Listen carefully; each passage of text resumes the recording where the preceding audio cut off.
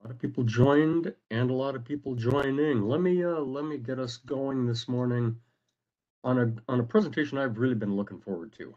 I've been um, kind of monitoring. I suppose, like a lot of people, you hear a lot about the um, St. Louis River area of concern, and you know a lot is going on up there.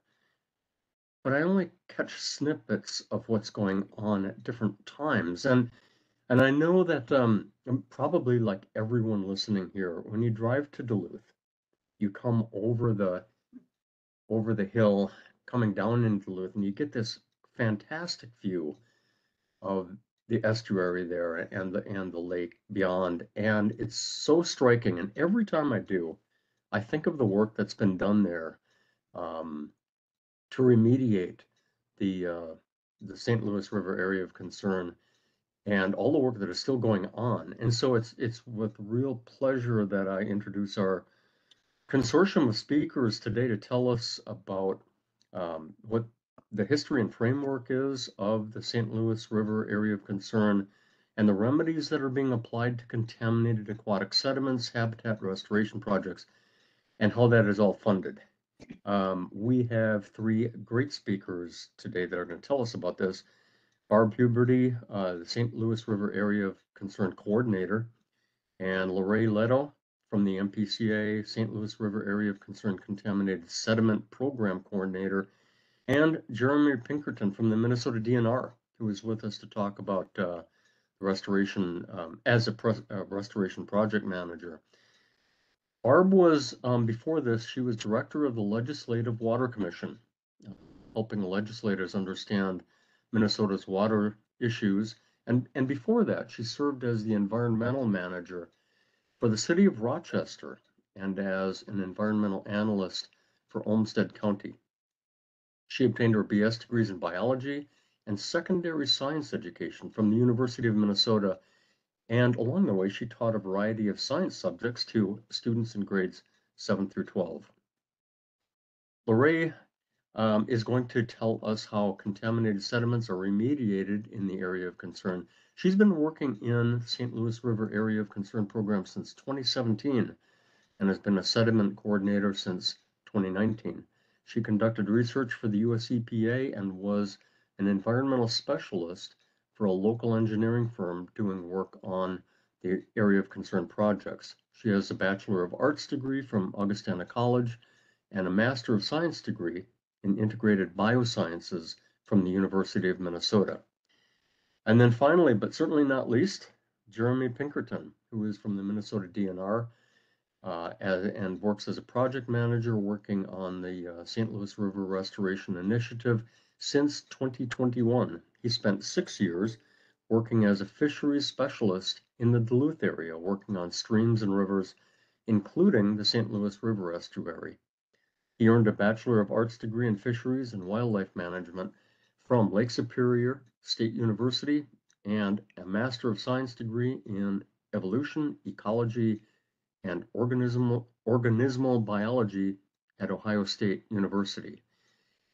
It is great to have you all with us. And uh, with that, I am going to hand it over to you guys to tell us more about this um, great project.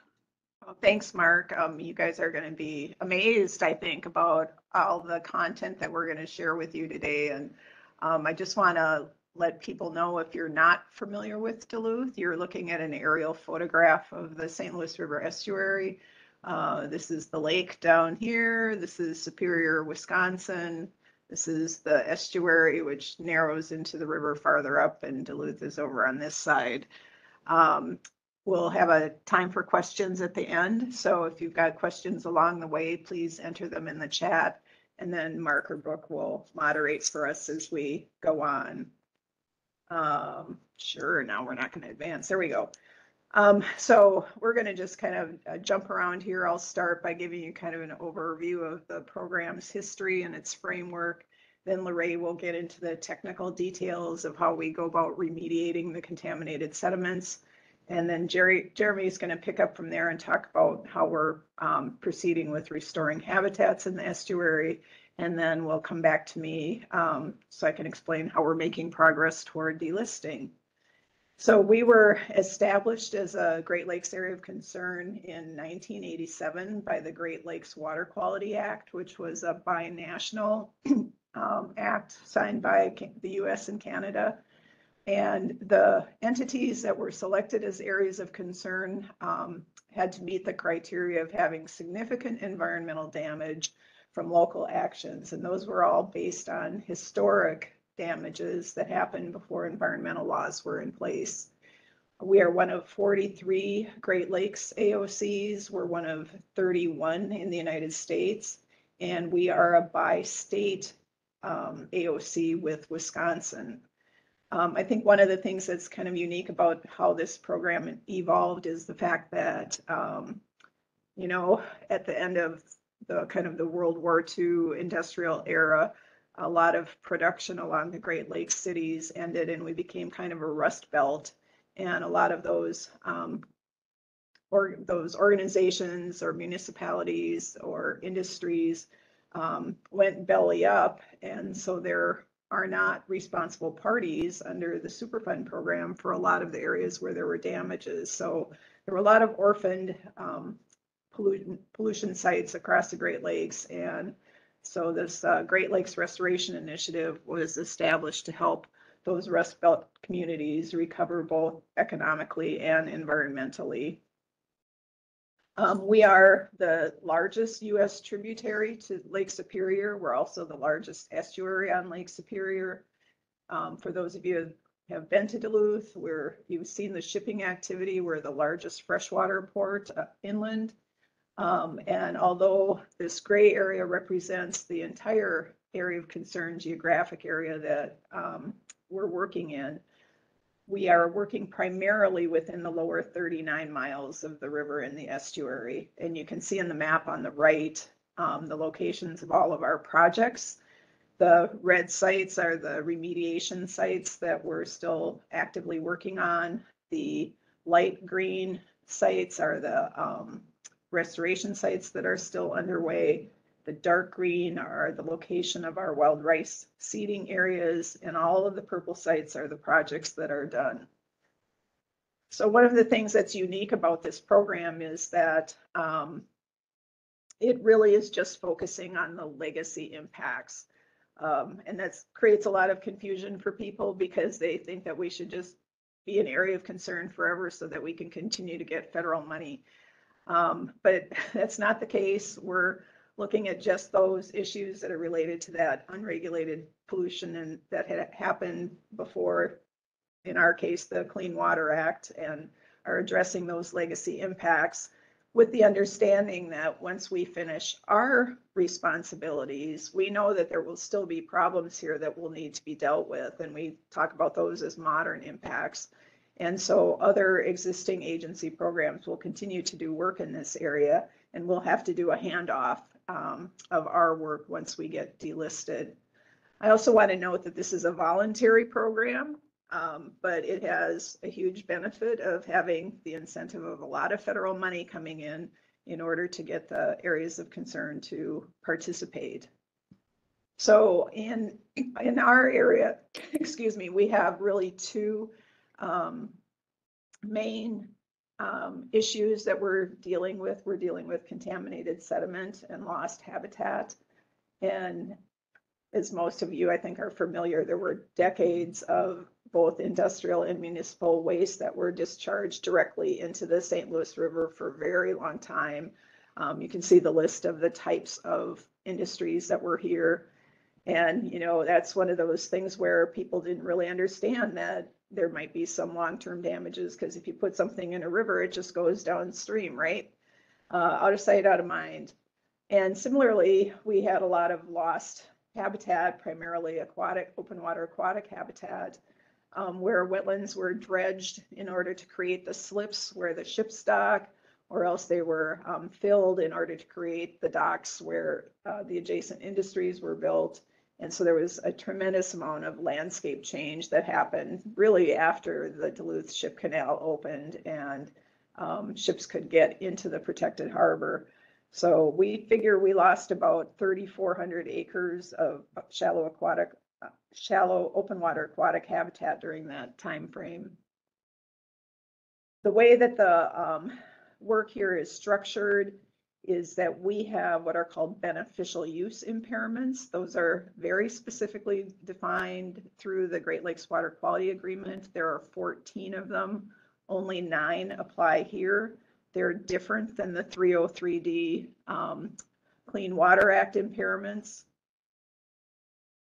Getting weird note here. Fine. Um, and so these nine impairments, beneficial use impairments, or we call them BUIs, we'll be talking about each of them as we move forward. We've removed three of them already. One is in the hands of EPA right now, waiting for their approval for removal. And the rest will have to wait until we finish our construction projects. And we anticipate that happening about um, 2027. So as Mark noted, this has been going on for a long time.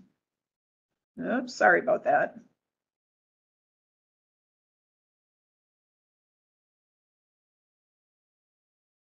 There we go. So planning started as soon as we were listed. The first remedial action plan was produced in 1992 and the impairments um, were evaluated at that time. And then after that came initial um, recommendations for action. There was a habitat plan that was produced that did an evaluation of all the habitat issues from which the habitat priorities were set so that we could select which projects um, we'd pursue under the AOC program.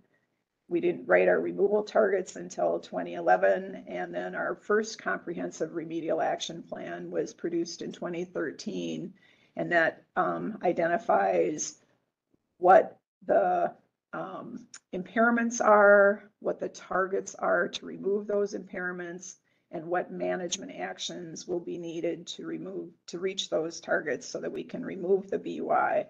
So right now we have one AOC, nine BUIs, and we have 80 management actions that are distributed across those nine BUIs that we need to complete in order to have the removal. We update our RAP every year. There's always an opportunity for public comment. It's an adaptive management plan. And um, it's really been working quite well for the last decade here. Uh, just briefly, I've, if someone doesn't know what an estuary is, it's the place where waters meet and mix. So in this case, the St. Louis River water that's flowing downstream meets with Lake Superior water that is moving upstream during um, seiche events, which happen when we have sustained high northeast winds. So that middle estuary zone is a mixing zone um, of warm water and cold water. And it's really provides great, um, it's a great biological engine for this area. And that's one of the reasons why it's so important. It's where we have most of our um, critically imperiled marsh habitat. Because it acts as that nursery area, it is really a productivity driver for Western Lake Superior. There have been over 230 species of birds documented here, and Audubon has named it an, an important bird area because it's so critical to migration. Um, there's over 40 native uh, fish species. It's the home to the uh, to a lot of wild rice. That was the reason the Ojibwe migrated here. It's um, become a recreational hotspot, so it's just a really important resource both for Minnesota and Wisconsin, but also the region. There are a lot of people involved in this. Back in the early planning days, there were over 70, that's seven zero, different organizations that were involved in helping to set up the framework for this work. Now that we're at the implementation stage, the number of active partners is greatly reduced. We have four coordinating agencies, the Fond du Lac Band of Lake Superior Chippewa, the PCA, the Minnesota DNR, and the Wisconsin DNR. And then we also have others that are providing administrative, technical, and outreach support like US EPA, which is our big funder, uh, the Army Corps of Engineers, NOAA, the US Fish and Wildlife Service, US Geological Survey, and then locally, we have two important partners. The St. Louis River Alliance is our citizen action committee, and the Minnesota Land Trust is, I would say, DNR's right hand organization helping with a lot of the restoration projects. And also, the public is really an important partner in all of this work as well, and they are quite engaged here on this work. And we provide all kinds of opportunities for people to learn and lots of opportunities for providing feedback and participation. Uh, we have public meetings and, and comment periods and community events, and we have a million different ways that we try to get information out about our work. Um, we've got great local media participation here, and St. Louis River Alliance is one of their um, obligations under our contract with them. They take care of um, organizing particular events and doing our social media. And then within our own agencies, we all have our own websites.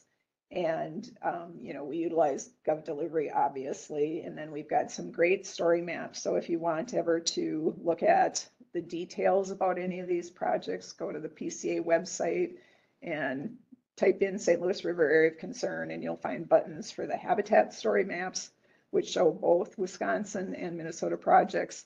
And then also we have one for the sediment um, story maps that show just the Minnesota sediment pro um, projects. Funding is quite the puzzle here. We um, really look for every available source of funding possible to do this work. Um, it's not just the Great Lakes Restoration Initiative, but that's a huge part of it. Um, here in the harbor, there's a tax paid on cargo that um, generates money to do maintenance in the harbor, and that is called the Harbor Maintenance Trust Fund. We've leveraged that by utilizing um, navigational dredge materials. Even, even FEMA has gotten involved in paying for some work over in Wisconsin. On the non-federal side, there's huge contributions from the private side, Natural Resources Damages Assessment Trust, cities and townships, and then with the state, we have our bonds and our environmental funds, plus our Land and Water Legacy Act, Clean Water Funds, and Outdoor Heritage Funds. Um, so we use every available resource that we can. And when we get that money, it's designated to a project and we can't shift it around. This is um, just showing expenditures only for Minnesota's remediation and restoration projects. And it's a combination of both um, actual costs for completed projects and estimated costs for our remaining projects. And I think it's really um, what's telling about this graph is that you can see that the amount of private money contributed is almost equal to the federal amount. And then other big chunks are the Minnesota bonds and then the Clean Water Land and Legacy Act has provided a nice chunk as well. And then all those other sources fall into that last slice. So with that, I'm going to turn it over to LaRae to give us some details about how we do the remediating process. All right, thanks, Barb. Uh, good morning, everyone. I'm going to talk you through, um, as uh, Barb mentioned, some of our sediment remediation projects here in the St. Louis River area of concern. So um, everything I'm going to be talking about is uh, certainly done by a team. We have uh, project managers and technical experts at PCA, but we also are working with engineering and archaeological and real estate and uh, a whole host of environmental specialists and biologists from the Corps of Engineers and EPA and from private firms as well to do this work. So um, sort of the remediation process here, and I see several remediation folks on the phone who kind of know and, and go through this, is that for each one of these sites that was identified as potentially an issue in the St. Louis River, we go through a period of time where we do site assessment and we determine whether the site needs attention or not. Are there contaminants of concern at a level where we we need to do something?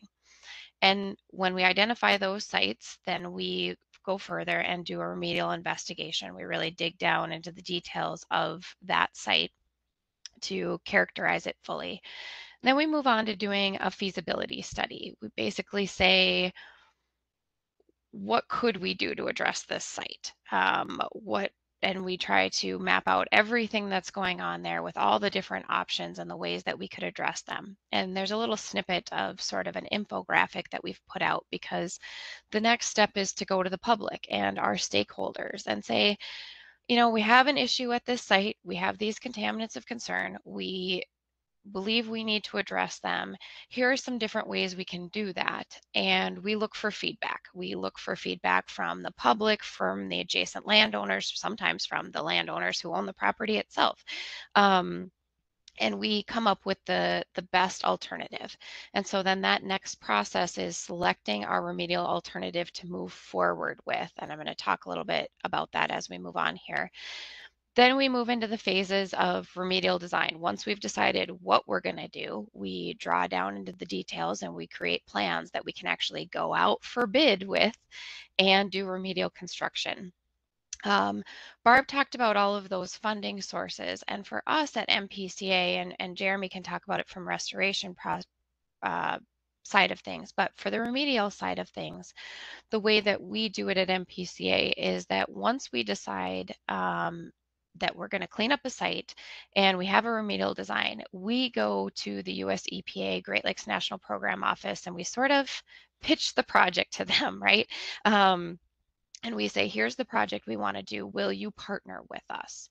And when they partner with us and we sign um, a project agreement, then EPA themselves will contract the remedial construction and we'll be partners, but EPA will do the large contracting. And then once construction's done, we'll move into a monitoring and maintenance phase for each, each site. Okay, Barb. Um, so what we're going to talk about a little bit is how we sort of group the sites we have. You saw Barb's big map with all the different sites. We have a grouping of sites where we aren't doing any further, further. We've characterized them and we've decided, you know what, they don't re need remedial action. We are just going to monitor those into the future. Then we have sites where um, we place a remedial cap and I'll talk more about that. Then we have a grouping of sites like Ponds Behind Erie Pier and Munger Landing, where we're doing a full dredge and removal project. And then we have activated carbon amendment sites, which is kind of a new one for us and folks across the Great Lakes. So I'll talk a little bit about that. And then we have sites like our two Superfund sites at the Duluth Interlake Tar site and US Steel Spirit Lake site, where those sites are so large and so vast that they require multiple um, types of remedies. And the remedy we select is based on a site's physical characteristics, the magnitude and extent of contamination, the risk to human health and the environment, and how what the current and future uses are of the site. Okay, go ahead, Barb. So the first type of sites, and if you've been in Duluth over the last several years, you work in the Duluth office, you have seen us doing this. Um, these are remedial caps. So we have a grouping of sites in the Duluth Harbor that have industrial and commercial site use. They're right in this busy shipping harbor. These sites also have adjacent infrastructure constraints. They have dock walls next to them that are in many cases in they're they're in various states of disrepair. Some of them are newer, like the one right in Minnesota Slip along the city's dock wall um, that got built as we were doing our project. But some of them have old cribbing, board and batten wall. They're just not a place where we could dredge up against. We would fail the adjacent infrastructure. Um, also, in some of our industrial and commercial slip sites, we have depths to contamination 12 feet down. So the logistics of doing a full dredge and removal project and taking all of that contaminated sediment out of there is just not feasible. We can't dredge down 12 feet next to a sketchy dock wall. and then, you know, what also happens in a lot of these um, industrial areas is that the contaminants are localized, usually on the inner ends of slips. They're they're settled into the the very inner ends and their higher concentrations in in just localized spots But overall, as compared to other areas of the estuary, the concentrations of contaminants in the industrial areas tend to be a little bit lower, and we have fewer bioaccumulating contaminants like PCBs, mercury, and dioxins and furans. So what we do in these areas is cap those contaminated sediments in place. We come in with 18 to 24 inches of clean fill, and we cover the contaminated sediments then we typically will bring a layer of armor stone over the top so that vessel traffic, prop wash, uh, human activities out into the future don't disturb those remedial caps. So the contaminants are still there. Thanks, Barb. They're still in place, but we have covered them up and sequestered them. So this is the case in Minnesota slip, slip three, slip C, and the ASCON DSPA slip. We have done four of these in the harbor. Overall, we've succeeded in isolating about 200,000 cubic yards of contaminated sediments. We have dredged and removed hotspots of about 700 cubic yards, so just some very small localized hotspots. Um, we've removed about 20 tons of debris from the harbor in this process. We've used over 40,000 cubic yards of clean cover from the harbor navigational channel. So Barb mentioned that in the funding sources. This is material from the harbor nav channel that needs to get dredged and moved anyway for shipping traffic. We bring that clean material in and use it as a free source. And then we've brought in about 24,000 cubic yards of armor stone from offsite. All right. So the second set of sites we have are backwater bay areas. These are the ponds behind Erie Pier and Munger Landing areas. These are, um, you can see the ponds behind Erie Pier here is right under the interstate bridge. You wouldn't even know it's there unless you look down. Um, and then the Munger Landing is at the busy Clyde Avenue access. These sites are important for us and we are doing a sort of quote unquote traditional remedial action here, where we are fully dredging out the contaminated sediments um, and restoring the sites. And the reasons we're doing that is we don't have the infrastructure constraints. Um, the contaminants are in larger areas of varied depth, sometimes quite shallow. We have bioaccumulating contaminants, PCBs, mercury, and dioxins, which have a much more direct human health risk and impact, and we need to get those out. And these are good quality habitat areas, and we don't want to leave those contaminants in place here. Go ahead, Barb. So at the ponds behind Erie Pier, we have already completed the dredging and removal of about 43,000 cubic yards of contaminated sediments. The ponds was a soup a hotspot of mercury, PCBs, PAHs, dioxins, heavy metals, lead, chromium, cadmium. Um, we have uh, removed some adjacent upland soils and disposed of them as well as source control. We have brought in about 26,000 cubic yards of clean cover. So once we did the full dredge and removal, we brought in that harbor navigational material and placed a new cover for the bugs and the fish and the vegetation. And we um, put new armor stone around those industrial bridge piers to protect them moving forward. Um, we also opened the causeway between the two ponds uh, for fish habitat and we restored Shoppers Creek. And then Munger Landing is going on right now. This is our big project right now. This is at the Clyde Avenue boat landing. If you've been on the west end of Duluth, right in the Riverside neighborhood. Um, this site's of particular importance to us because we had TSCA level PCBs right at the boat landing where people were coming into contact, kids, dogs. Um, this was really a high priority area for us. So the project objective here is a full dredge and removal of over 100,000 cubic yards of contaminated sediment across 38 acres. We'll also be doing about eight acres of targeted habitat restoration next summer, and then we'll be improving that public boat landing, adding a sandy paddle sport launch, and working with the city on their overall improvements. This is a $42 million project that is being funded by EPA, uh, Responsible Private Party, and um, Wisconsin DNR and MPCA. So lots of partners in this one.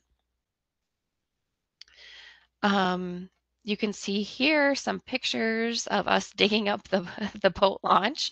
Um, it's gone right now, so if you're in the area, stay away from the site. Um, the biggest accomplishment so far here is that we have succeeded in dredging and removing all of the TSCA level that's um, above the tox, tox, Toxic Substance Control Act levels of PCBs. Um, and those PCBs came uh, historically from a nearby uh, historic Westinghouse electric apparatus uh, repair facility. And so they their uh, corporate successor is partnering with us on this project. But all of those PCB contaminated sediments at the landing have been removed as well as about 60,000 cubic yards of the overall project footprint. So we're about half done. Next summer we have the other half to do and then a lot of uh, fish habitat restoration when we're done. And then the last type of project I want to talk about, I know this is a lot today, a lot of information, are um, our sites upstream at the Thompson Reservoir and at the Scanlon Reservoir. These sites are unique because they are both active hydroelectric power generation reservoirs. So as you can imagine, they have a lot of constraints but they also have um, historic contamination of dioxins and furans from the pulp and paper manufacturing upstream. And so as we've assessed these sites, we have determined they need attention, but how to do that is quite tricky. Um, we have geological constraints. Um, we have bedrock. We can't just go in here and dredge in these sites. Um, access, feasibility of that. Um, we have, in a lot of cases, six inches to up to two feet of soft sediment sort of between rocky outcroppings that don't lend themselves to dredging. Um, we have a large surface area where these contaminants are spread, and we have a lot of habitat considerations here um, where we cannot we don't want to dig them up. Um, likewise, we can't come in and cap these sites because we can't take away the capacity from Minnesota Power and um, the hydroelectric power generation. So, so what we've pursued at these sites is application of an activated carbon amendment. So this is a uh, technology that's been introduced to sites over about the last 10 years. At the Scanlon Reservoir here, we are implementing the largest of its kind to treat dioxins and furan contamination. So you see these little pellets here. Those are pellets of SediMite, which is a, uh, a one type of activated carbon amendment product. It's about 50% carbon um, and 50% sand and clay by volume and weight.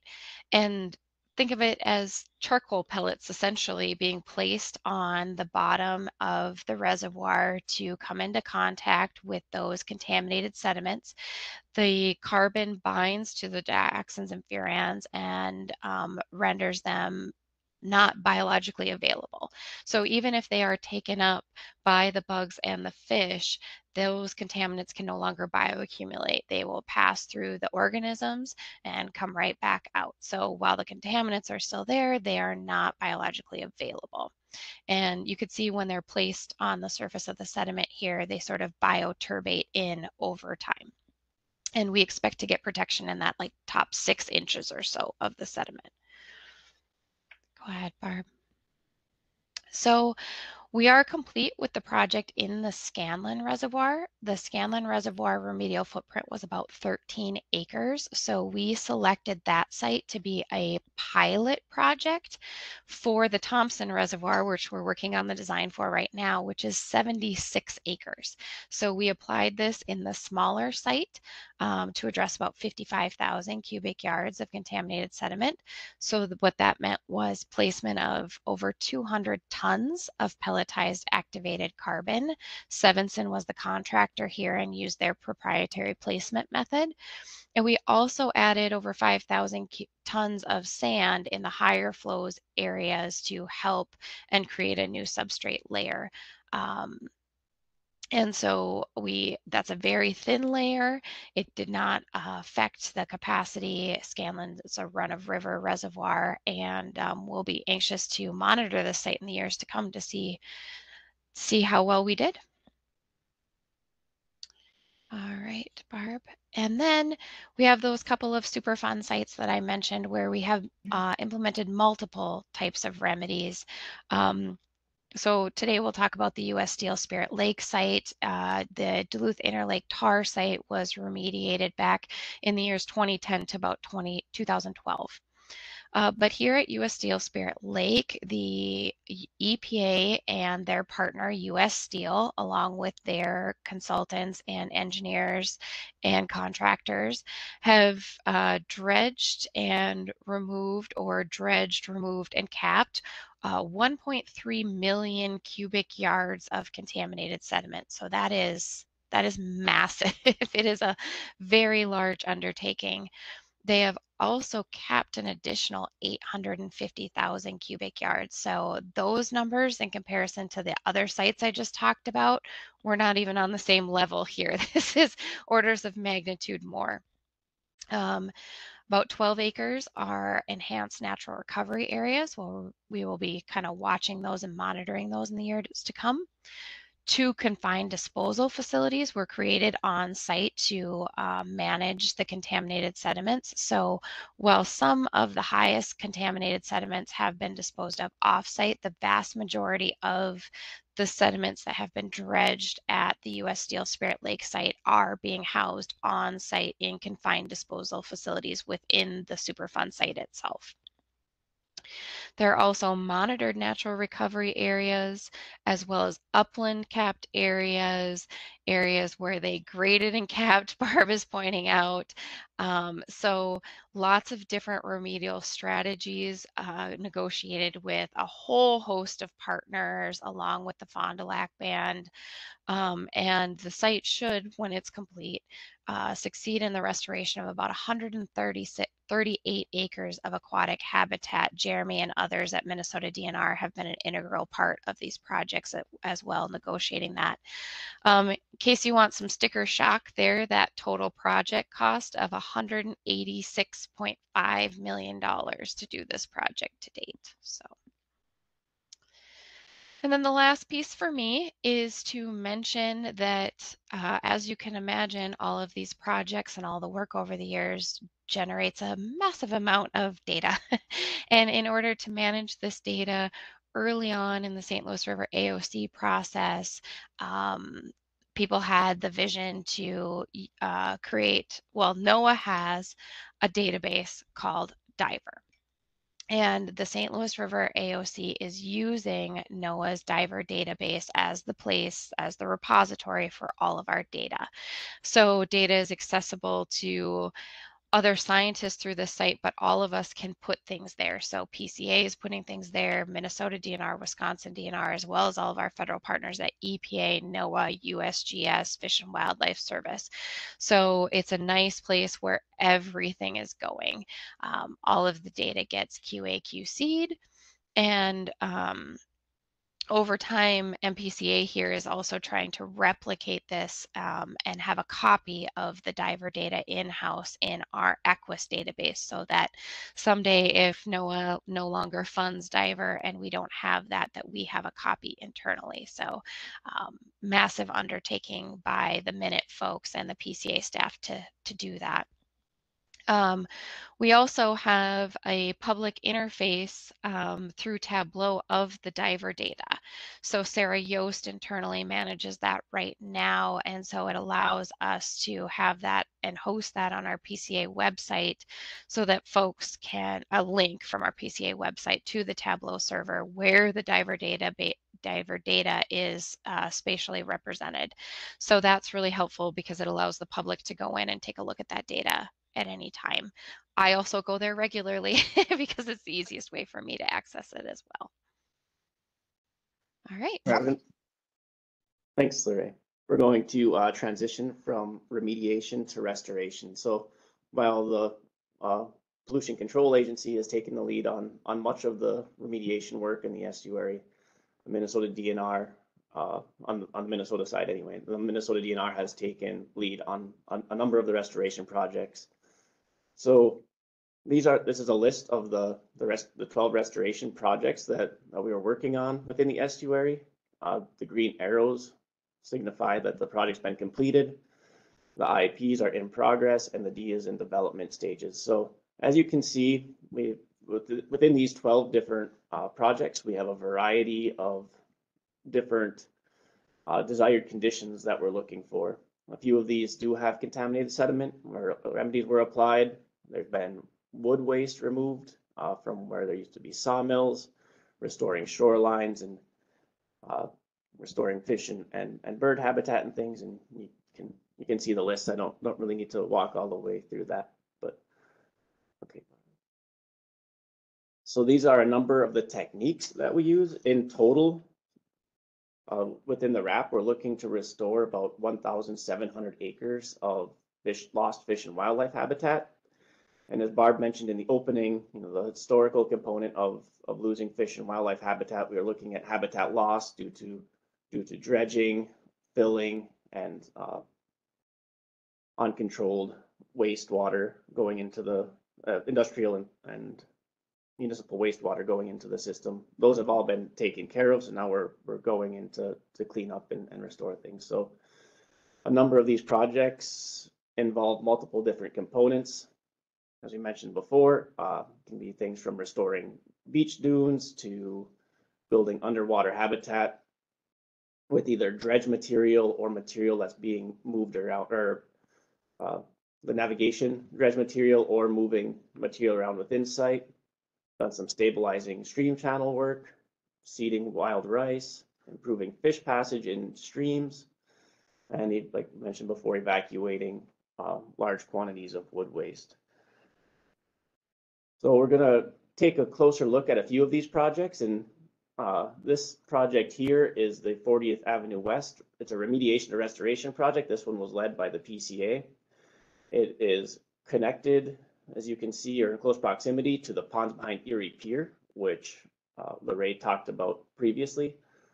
So in 2017, 2018, dredge material, navigational dredge material was used to create uh, shoals within the estuary, uh, within 40th Avenue. And you can see those in the right-hand side map. The yellow are the shoals and green spots are islands that were, were constructed in there. In 2000 and 2002, uh, came back and placed a biomedium on these places. So the biomedium would be uh, sed- sediment that is mixed with seed, whether natural or manufactured. So the westernmost shoal and the southern half of the easternmost shoal had material from a Kingsbury Bay restoration project that was led by DNR. Some of that material was brought down to 40th Ave and placed on these shoals. I thought it would be a good source of seed material and also have some good organic matter to uh, allow seeds to grow. And then in 2002, a manufactured biomedium was placed on the, the remaining shoals. And that is consi- that consists of dredge material, uh, navigational dredge material from by the Superior Entry mixed with uh, seeds from eight different species of aquatic plants. So this one sets up really neat. We have a remediation project, but we'll also be able to compare um, how the performance of a natural biomedium versus a manufactured biomedium. So this is a really nifty one. One of the projects that the DNR is currently leading, this project is, is ongoing, is the restoration of Perch Lake. Perch Lake is historically a backwater bay to the estuary. Its connection with the estuary was greatly decreased first by the construction of a railroad in the eighteen nineties and then Highway twenty-three in the nineteen thirties. So now that there's only a two foot by four foot uh opening that connects Perch Lake to the estuary. Um, so this project is looking to restore some bathymetry for for fish uh, and other aquatic animals. We're also build, constructing some hemi-marsh within this project. And then we're going to restore the connection to the estuary. So over time, materials had, had deposited back here and, and made this shallower. So that's what a lot of the dredging is about. And then we're going to install a twelve by, by eighteen, or twelve, that's all right, twelve by sixteen foot culvert under Highway twenty-three. So the dredging component of this project is mostly completed. Uh, there's a small portion between the old railroad, which is now a city trail, and Highway twenty-three that will be completed in the winter, likely next month. uh, our contractor thought that would be easier, um, to do when everything's frozen. Jeramy, can you explain what Hemi Marsh is and why it's so important? Yeah, so one of the, one of the components of this project, as I mentioned, is constructing Hemi Marsh. So Hemi Marsh literally means uh, half water.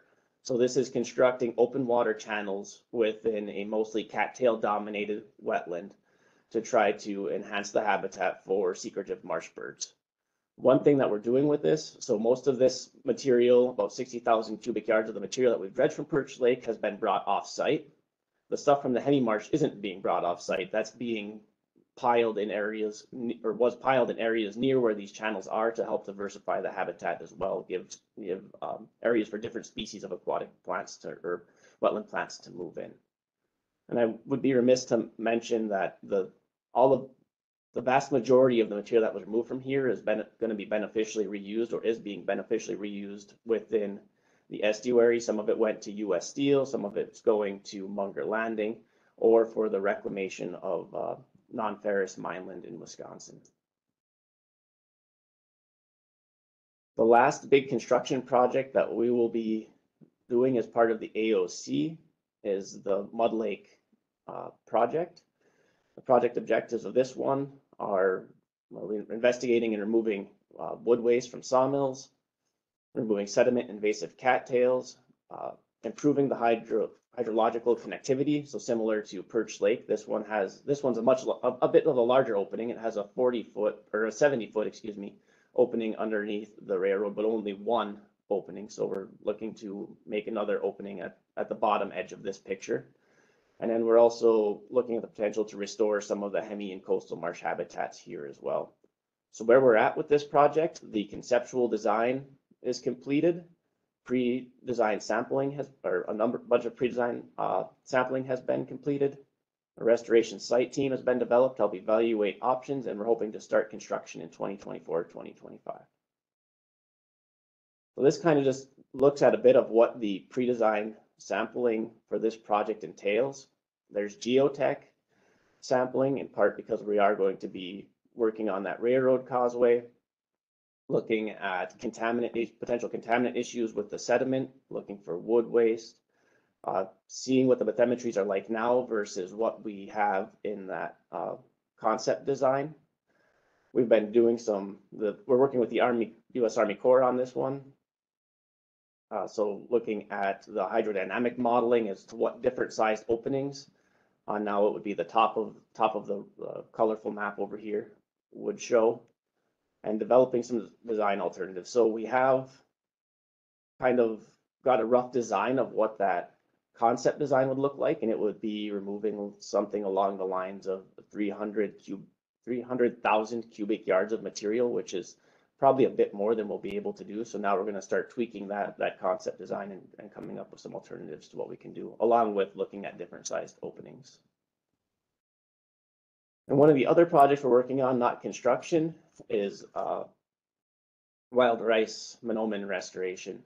And this is being led by the Wisconsin and Minnesota DNRs, along with some great collaborative efforts from the eighteen fifty-four Treaty, Treaty Authority, the St. Louis River Alliance, and the Fond du Lac Band of Chippewa Indians. Um, so the plan calls for uh, implementing wild rice restoration over about two hundred and seventy-five acres. So since twenty fifteen, there's been site preparation, which often involves uh, vegetation removal. There's every fall, there's seed broadcasting, monitoring the, the uh, 1854 Treaty Authority monitors density and acreage goals. And then we are also working on some goose control, so uh, herbivory control with putting up exposure fences and doing goose roundups. So you can see the numbers for 2002 as far as there's about uh, 8,000 pounds of wild rice seed placed over 58 acres. All told, there's been about 68,000 pounds of wild rice seeded into the estuary over approximately 200 acres. All right, we're back to me. So I'm gonna talk about how um all of this work um gives us some progress toward delisting. So I'll be talking about the um the that from the concept of the beneficial use impairment. So we have nine altogether. Um, three of them have been removed. One is very close to being removed, so we have five others that remain, and they're shown here. And so all of those um, projects that LaRae talked about, the remediation projects, fall into our restrictions on dredging bucket. We hope to complete all of those both in Minnesota and Wisconsin by around 2027. Um, All the projects that Jeramy talked about uh, fall into the loss of fish and wildlife habitat, which we expect to have those construction projects done about the same time. As soon as those projects are done, then we'll be able to remove um, this uh, beach closings and body contact restrictions because we have three beaches where we have established either no swimming or warning signs. And as soon as the remediation is complete, then we can go through a process to have those removed. And then we'll have a, um, a task to document compliance with wastewater and stormwater permits, and then that one can be removed. But these other two will be removed sometime after that, and we don't really have a date other than it's gonna be after we finish the removal of these, because we're not sure what the length of the recovery period is that we're gonna need, um, to show that we've had some recovery in our benthic community, nor do we know what kind of recovery period we're gonna need to show that we've made, um, strides on reducing restrictions on fish and wildlife consumption. So these last five are highly integrated and interdependent on each other. Um, the three that we've removed, I'll just briefly mention. Um, the first one we removed in twenty fourteen was degradation of aesthetics. Um, I just love this picture. This is how bad it used to look like. One of the things that's a weird phenomenon about the AOC is that at most sites, um, the way they looked before we did our projects and the way they look after we did our projects is not very visibly different. Um, but clearly with the aesthetics issue, all of the oil slicks and odors and the scummy rotting grain um, materials that were floating around the harbor, harbor, those have all been resolved. So that BUI was removed. Um, we also had, um, fish tumors and other deformities BUI that was removed in twenty nineteen. Back at the beginning of the AOC, there was a, um, hypothesis that because of contamination and habitat loss, that we would have a higher incidence rate of tumors and deformities within the estuary as compared to unimpacted areas, but there was nothing to document that. That was just something people surmised. So a process um, was initiated to um, identify a target species so we could um, answer our hypotheses. A, a reference population was identified and then a method was determined to assess how um, migration might impact those fish because there's a lot of movement of the fish from the estuary out into the lake and back. And after all those studies were done, we were able to show that the tumor rates in the estuary were not significantly different from, from in the lake. And so we were able to remove that one. Similarly, with our excessive loading of sediment and nutrients BUI, which was removed in 2020, um, we were, had, had the same kind of thing, you know, before there was um, work to, before the Clean Water Act was in place, again, people could just dump whatever they wanted wherever they wanted it. So the water quality was very poor. At one point, the river was basically anoxic and the walleye fishery collapsed. Um, but then when the Western Lake Superior Sanitary District was built and this um, Superior wastewater treatment plant was upgraded, those automatically provided water quality improvements almost instantly. Um, but there still was no uh, very scientific assessment of water quality over time to see um, how that anecdotal information played out with real data. So there were a lot of studies that were done. We collected here in this picture paleolimnological sediment cores to try and assess what conditions were like historically in the estuary and um, looked at gathering additional data and evaluating historic data and eventually we're able to show that we are seeing significantly improving trends in um, sediments and nutrients throughout the estuary.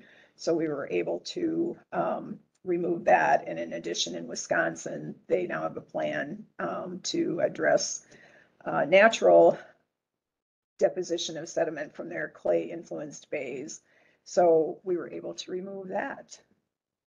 And this is the one that's currently in um, EPA's house to uh, give us approval. Uh, We had a similar thing here where at the beginning, we didn't really have any assessment of our bird, fish, and aquatic mammal populations. So an assessment was made of those target species to determine what the population condition was. And um, out of that assessment came two habitat projects. One was in Wisconsin Point to develop a piping plover nesting habitat. You wouldn't think this would be a very attractive nesting habitat, but if you're a piping plover, apparently that looks like a very fine hotel. Um, and then also a huge project on Interstate Island to improve uh, habitat, nesting habitat for common tern. And then also, we did an additional study on Lake um, sturgeon tissue because there was some question about whether the legacy contaminants were affecting their ability to recover that population. And that study showed that the legacy contamination was not a cause for that. So we were able to show that those target species aren't limited by legacy impairments, and that's why we were able to put that into uh, EPA's hand. Uh, These two, LaRae and um, Jeramy have already talked about, so um, the BUI five are restrictions on dredging. That's all the remediation projects. As soon as those projects are constructed, we'll have met the re- removal targets and can uh, remove that BUI. Same thing with BUI nine, our loss of fish and wildlife habitat. As soon as those projects are done, we can move forward with, with that removal. Um, the beach closings and body contact restrictions I mentioned, in addition to the fact that we've got three projects that need to um, be completed in order to address the no swimming and warning signs, we did um, do a Barker's Island beach restoration, we being Wisconsin DNR, because that was a beach that had historical E. coli impairments. And then we also studied microbes at closed beaches for the controllable human sources through a microbial source tracking study.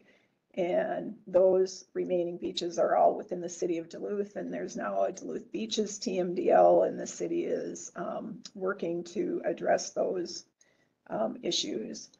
So uh, we've got our last task, which is to do our um, compliance assessment when those other projects are completed, and we'll be able to remove this one. And probably one of our last ones to remove will be our um, fish consumption advisories. Again, we're only addressing the legacy contamination that's contributing to those. So we've had studies to deal with um, PCBs in fish tissue as well as mercury in fish tissue.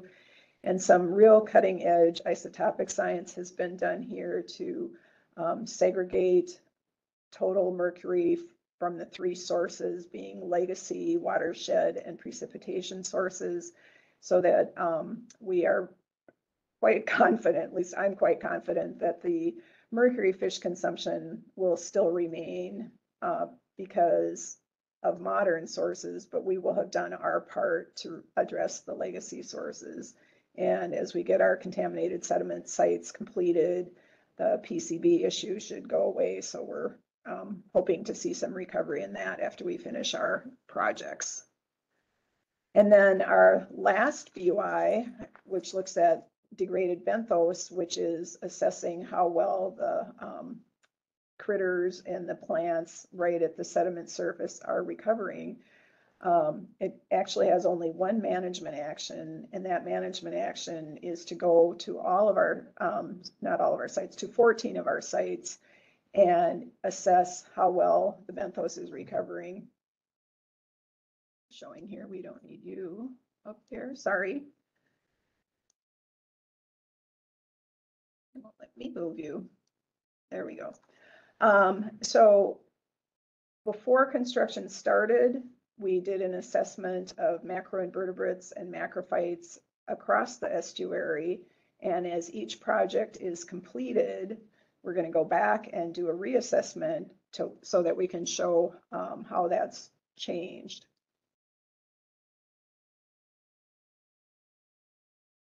And this is just a really great visual example of the volume of data that's being collected. So this is just the benthic data, but we have similar coverage um, with respect to sediment characterization across the estuary. And this um, gives us a lot of confidence that we're going to be able to show recovery um, trends and rates throughout the estuary. Um, right now, four of the 14 sites have been completed. And as other projects are done, we'll continue to move uh, forward with those assessments. Uh, For each assessment, we've got something called a trimetric index that um, is a calculated value that defines quality of the benthos. But in addition to just doing that numerical calculation based on the sediment and, uh, or excuse me, the bug and vegetation samples, that's also being processed spatially, like in this example of 21st Avenue West. So you can see that before the project, this was the condition in 24th, 24th Avenue or 21st Avenue West. And this is the post-construction condition right now, and we'll do another sampling here in a couple years and, and see how it's further recovering. Um, interestingly, this is the location of the Western Lake Superior Sanitary District, so there's always a huge amount of flow from their um, effluent discharge pipe that's coming through here.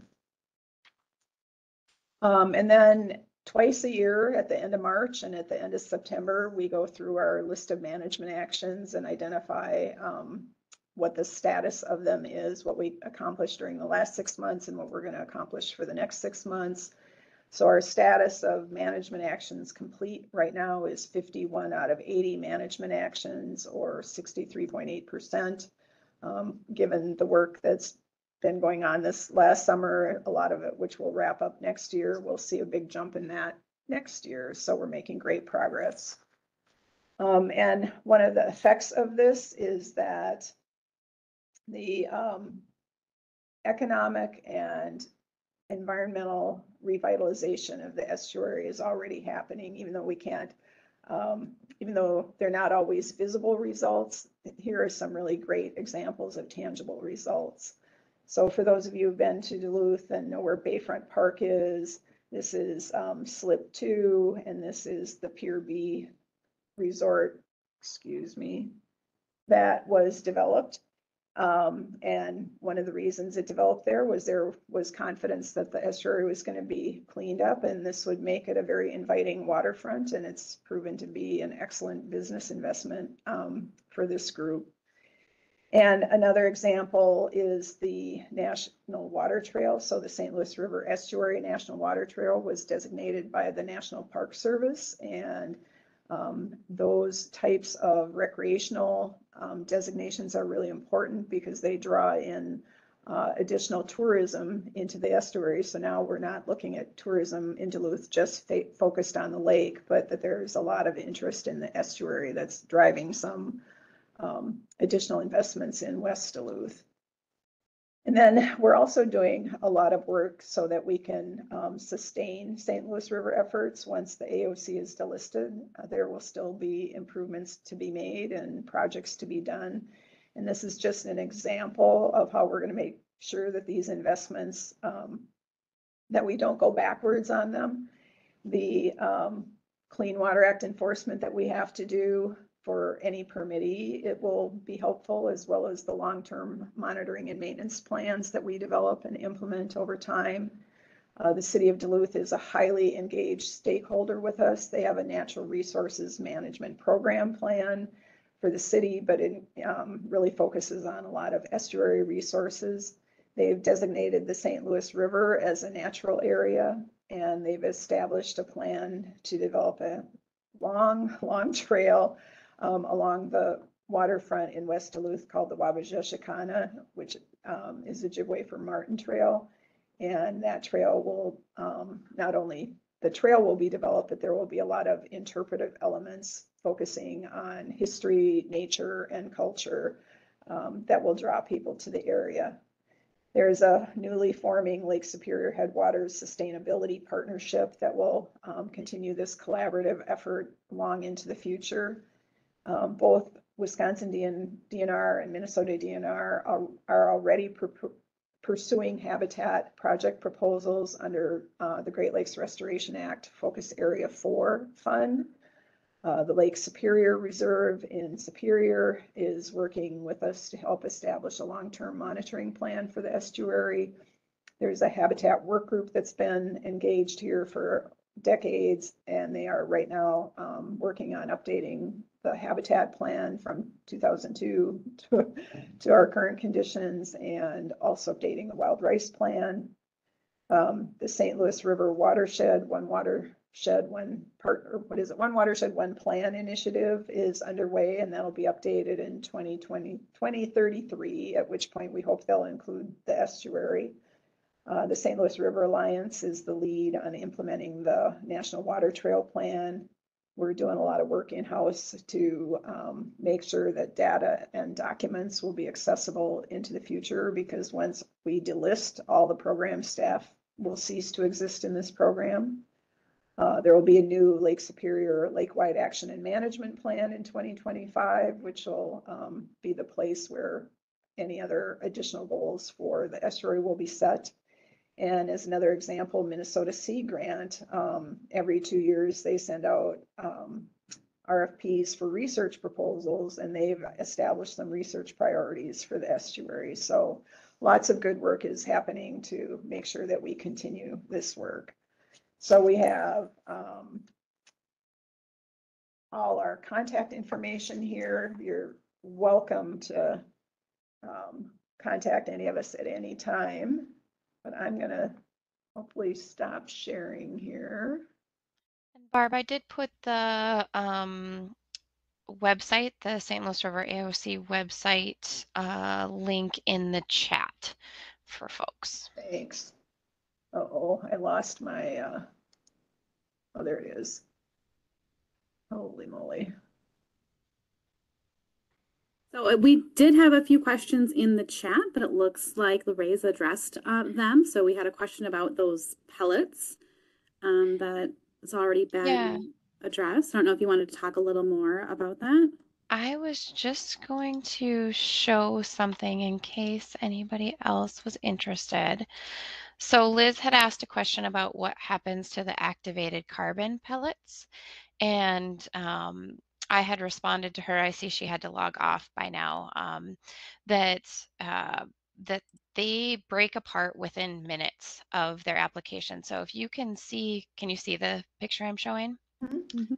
So these are the catch pans that we put down on the bed of the sediment. So to help us measure, hey, are the pellets actually reaching down into the sediment layer? And then what do they look like? This is about 15 minutes after application. So this is only capturing those pellets. So those pellets fall to the bottom and then the portion of the pellet that is sand and clay sort of dissolves and breaks away from the carbon fraction. It sort of stays there as this like very thin muddy layer. The carbon will bioturbate um, into the top layer of sediment over time but via the benthic organisms. And then that sand and clay layer may also sit there and it may, um, it helps provide a new layer, but it also may, may travel um, over time. So hopefully that helps. Yeah, and I um, was curious as well of um, how do you know how much of this that you need to use? Is it based on the amount of contamination you're seeing, or is there some equation that you use? How do you, how Yeah. do you know how much you're going to need to do the job? Yeah, I didn't have time today to talk about it, but because this was a pilot study, what we did is, you know, in our feasibility study, we said we think this would work, but um, we worked with the Army Corps of Engineers and EPA to hire a firm. Um, we used Anchor QEA, and they did a series of bench scale testing. So they spent about a year where they went out to the Scanlon Reservoir, they got sediment, they took it back to the lab, and they played around with different um, concentrations 2%, 4%. They use it powdered activated carbon, they use granular activated carbon. Um, and that's how we decided and modeled the right percentage, the right dose by volume and weight of carbon, and then how to actually apply it. Now we're doing that and designing that and scaling it up for Thompson. And we actually have to use a higher dose because we have um, we have less uh, soft, fewer soft sediments. It's a little bit more compacted with higher contamination levels. So we are dosing that a little bit higher than Scanlon. But yeah, that's a good question. LaRae, one thing you didn't mention was the wastewater treatment that happens. Oh, yeah. So when we dredge all of those contaminated sediments, um, one of the yeah, one of the things I didn't talk about is the way that we're managing those is we're hydraulically pumping that into um, uh, geotubes. These are big, uh, basically fabric bags that house all the contaminated sediments, and then the water leaches out of those bags, and then that water goes through a water treatment plant, and we build them on site. They're temporary. They cost about a million dollars a piece. So the Spirit Lake project has one that has now been moved to Munger Landing, and then that one is there, and Ponds Behind Erie Pier had one that is now being decommissioned and those uh, water treatment plants send the contaminated water through a series of filters, um, GAC and other varieties, and then we need to meet our water quality standards in order to discharge that water back out into the river. So that's constant water quality sampling and everything to ensure um, that what we're discharging back out into the river meets meets our discharge standards. And that might have been uh, part of the question that I didn't get to that Jenny asked. So that was a good question. She was asking about concerns about leaching of dredged material. Um, and so we are managing the wastewater in real time, but then either the dredged material is going off site to a landfill or it's being managed in a engineered CDF on site where it's capped and we're monitoring that for for leaching things over time. And I just add that, um, you know, in Duluth, we have a really short construction season. It's about four months long because we have to wait until the spawning periods are over. So we don't really get to start our in-water work until July. And oftentimes we're done by the end of October. So these projects are going fast and furious during those four months. And then we just shut down basically and have to restart the next year, which is why so many of them end up being multi-year projects. But Um, the benefit is that like yeah. Munger Landing continues over winter, like Jeramy was saying, some Perch Lake work, ponds. So we try to do as much as we can over winter. So we try to do that disposal piece over winter or any wetland work we can because like Barb's saying, our season is so short. And for those that are spatially challenged, like I am, as LaRae is throwing out and Jer- Jeramy too, throughout those huge numbers, about thousands and thousands of cubic yards being um, removed and moved. Um, think about one dump truck load is about ten cubic yards of sediment. So, um, you know, we're talking about thousands and thousands and thousands of truckloads of material that we're addressing through these processes. And I see that Dan put in the chat that it, and it is definitely worth noting that all of these remediation and restoration projects that our team and Jeramy's team and folks are leading go through a mandatory EAW review. They go through DNR permitting, Corps of Engineers permitting, and all of that. So it takes a lot of our internal staff at PCA and DNR to review these projects. They get another round of public comment during that phase two. So we we permit and regulate ourselves as well. And LaRae, do you want to talk about cultural reviews and tribal coordination? Yeah, all these pro, um, projects also go through section 106, sort of. Uh, GLNPO doesn't have to go through NEPA, but, and maybe Jeramy, you can talk about yours, but we go through 106. So everything goes through SHPO review. It all goes through tribal review. We have multiple tribes, not just the Fond du Lac Band, who are interested, along with the 1854 Treaty Authority.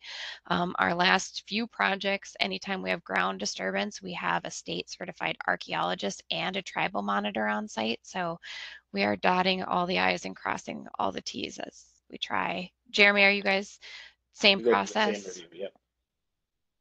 Yeah, I'd, I'd also mention that a lot of the work that's being done here is, and LaRae talked about it with Scanlon, how that was a pilot project, but the 21st Avenue West project was also a pilot project on the beneficial use of navigational dredge materials.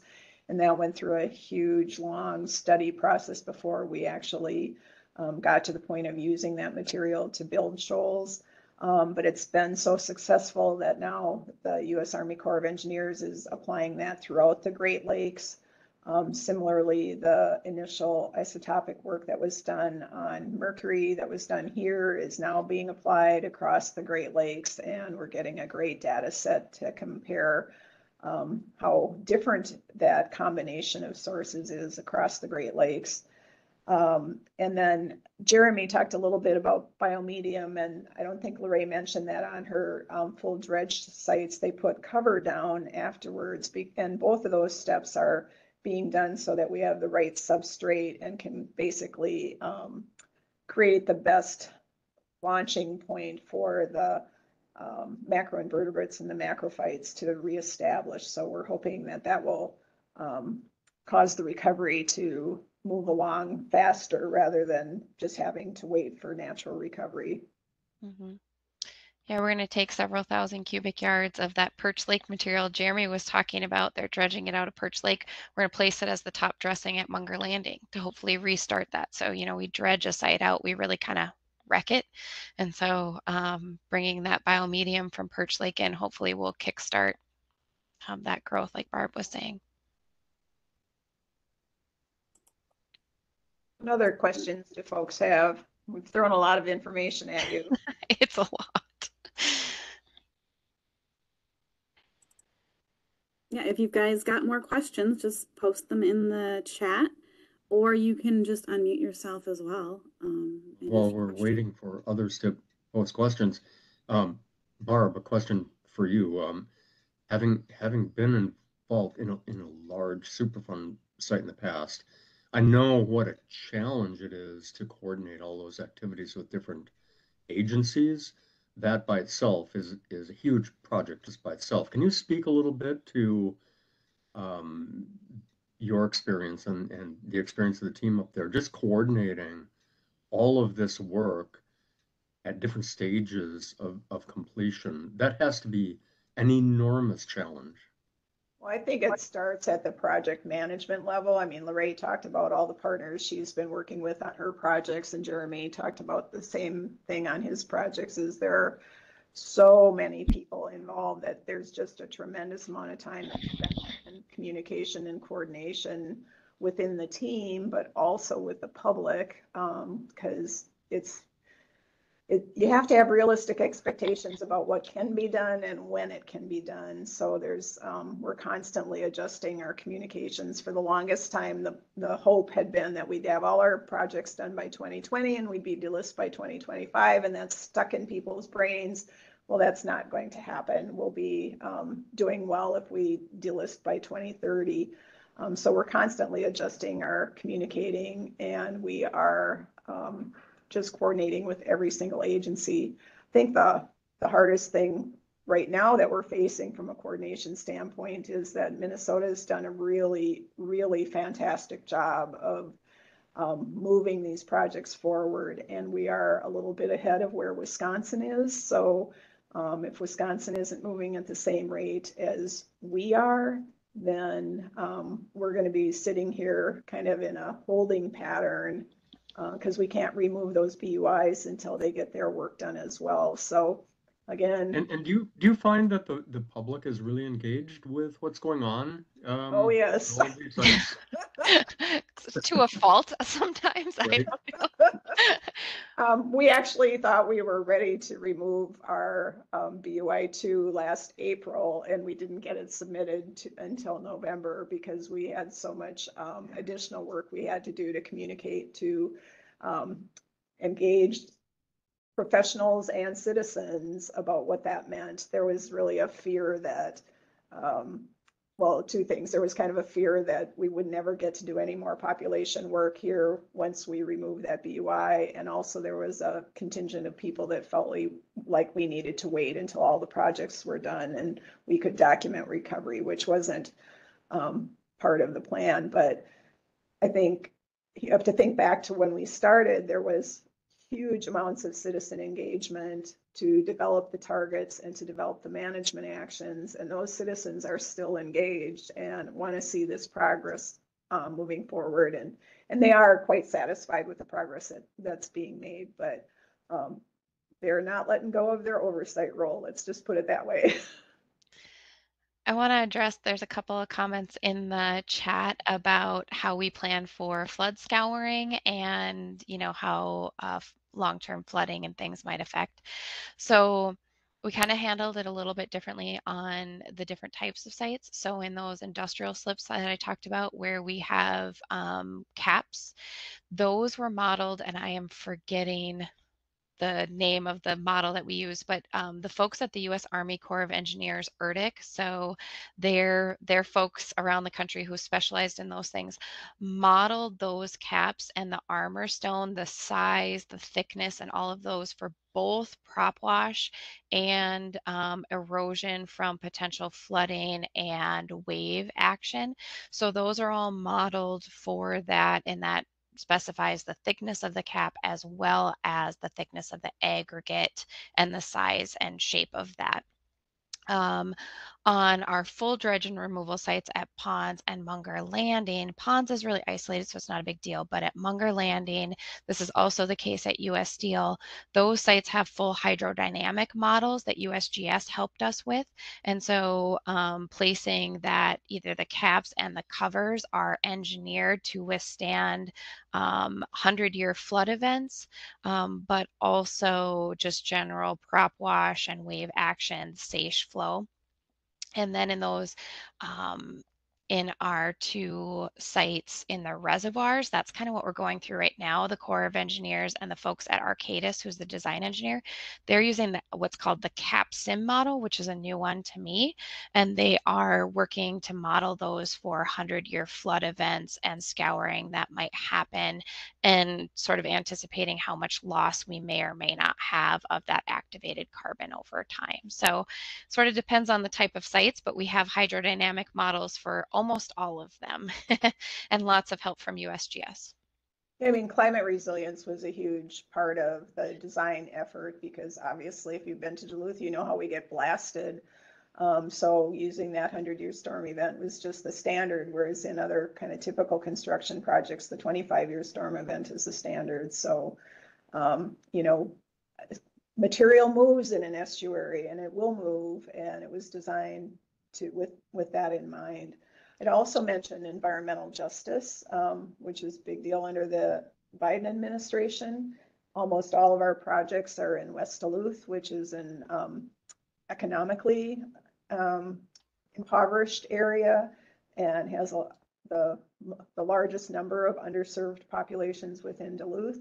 So one of the things we're doing right now with the St. Louis River Alliance contract is they're um, going to be working with those neighborhoods to identify priorities that they establish for how they would like to become engaged um, in utilizing the estuary as the project's sites have been remediated or as habitat has been restored because potentially all of these projects provide a cleaner river that they can now access whereas for uh, several generations now people have been told to stay out of the river um, because it was unhealthy. And now we want people to re-engage. And so we're going to be working with neighborhoods to find out um, what kind of activities they'd like to be doing. What are their barriers to the activities? Is it a fear of water, an inability to swim, a lack of access to paddling equipment, um, and poor access to the river?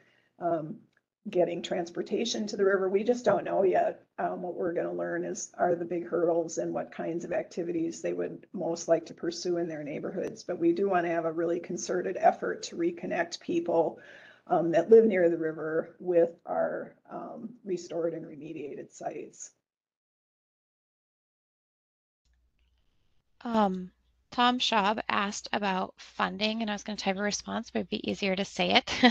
so, Tom, Barb showed those private funding sources. So the big ticket ones are that at the US Steel site, US Steel is paying over half of that out of pocket. So of that $185 million, there's a large, large share being paid by US Steel. Um, the Duluth Interlake Tar site, that was a Superfund, state Superfund site, that had, I believe, four private parties who paid. And then at Munger Landing, we have a voluntary party that is not a Superfund site, but um, Paramount Global is the corporate successor to the Westinghouse Electric facility. And they have contributed over $10 million. I think by the time they're done, they'll be between 12 and 13 million dollars on the project, and they're doing an adjacent source control. It's a steal for them, right? Because they get to do this in a voluntary way where the state and feds also pay, and they reduce their Superfund liability and their natural resources damages liability out into the future. Doesn't mean they won't still pay more later, but they're getting the bulk of their work done now with state and federal money. So it's it's kind of a big win-win for everyone. And slip two, um, was two million dollars of investment from, um. The PRB folks. The PRB folks and the Duluth Seaway Port Authority, um, remediated a, a slip on their property. And then Thompson Reservoir, you're under negotiations right now with the private party for contributions, so. Yep. As I said earlier, where there are, you know, we use every possible funding source and where there are still what would be responsible parties. Um, you know, we want to maintain that polluter pays concept where the polluters actually still exist. Yeah, and I don't know, Jeramy, if you have any on the restoration side. Um, but you have lots of partners too, state and local. Yeah, the value of the Clean Water Land and Legacy Act has been phenomenal to us. Um, the Outdoor Heritage Fund has been a source of funding for, um, the restoration sites. They wouldn't typically have to provide a local share on those restoration sites, but we've gotten more money from GLRI and gotten the money faster because we've had a local match. For, um, on the MPCA side with the clean water funds, that's, um, also been used to contribute to our thirty-five percent share, but um, it also has given us a lot of flexibility to have money available when we need it and, um, to adjust our schedules and needs as we go along. So having that flexibility has just been huge for us.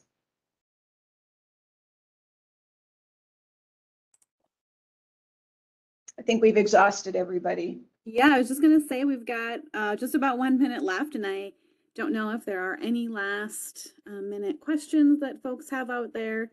Um, if not, uh, they do. There is the information that they shared with their contact info, so um, you can reach out to any of our speakers and get more information. Um, and then the website link was shared as well. So, um, seeing no more questions, I'll just thank all of our speakers for joining us today and um, for taking the time that you had to to prepare the the talks to share your great work with us. It was very interesting and very fun to uh, learn more about the progress that's being made and and I look forward to you know the future results as well. So thank you to all of our speakers. Thanks for having us. For having us. Thank you.